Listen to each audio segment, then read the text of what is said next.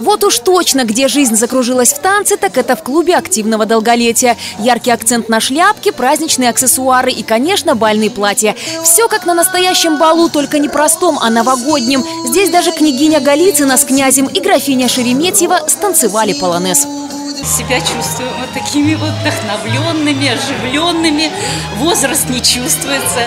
Хотя в это долголетие я в Голицыно попала только вот ровно месяц. Ну и как к этому балу мы готовились. За три дня вот это платье необыкновенное. В этом центре я увидела людей, которые своими руками могут сделать все. Какие-то фигурки, какие-то... Кто-то шьет, кто-то вышивает. Это меня вдохновило. Да так сильно, что Татьяна теперь не перестает активничать, участвует во всех мероприятиях, танцует зумбу, поет, занимается йогой. Благо клуб все это позволяет совершенно бесплатно. Мне кажется, жизнь только началась.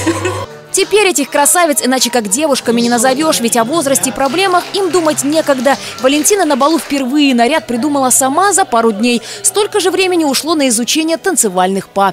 Я хочу сказать, не надо сидеть дома. Будьте активными, позитивными. Будет хорошее настроение. Это настроение передается нашим детям. Меня дети и внуки не могут застать дома. Говорят, бабушка, когда же ты бываешь? Я говорю, хорошо, что вы подросли, и уже не нужно уделять столько внимания, я занимаюсь собой. Эти дамы впечатлили даже стильных и изысканных звезд, которые открыли новогодний бал. Вы знаете, понятия возраста вообще не существует. Возраста точка нет.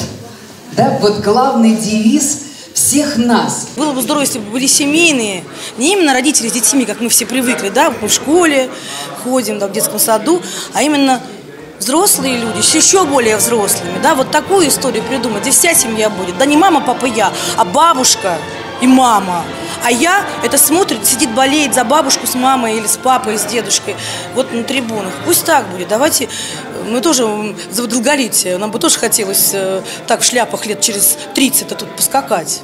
И даже глава округа не удержался, станцевал на балу, а также поздравил активисток с Новым годом. Каждый раз, когда я прихожу сюда к вам, э, у меня стопроцентное ощущение, что у каждого из вас появляется, появилось второе дыхание, что вы находите себя, находите реализацию и в спорте, в искусстве, в творчестве. Вы каждый раз э, приобретаете новых друзей, вы заряжаете всех позитивом, энергией, все свое окружение, делаете жизнь вашего окружения лучше, красивее, интереснее. Проект «Активное долголетие» уже привлек в свои ряды больше 1600 человек, и эта цифра будет только расти. Все это лишний раз подтверждает, что начинать никогда не поздно, а Одинцовское долголетие теперь не только активное, но еще талантливое и безмерно красивое. Влада Шишова, Артем Ломоносов, телекомпания «Одинцова».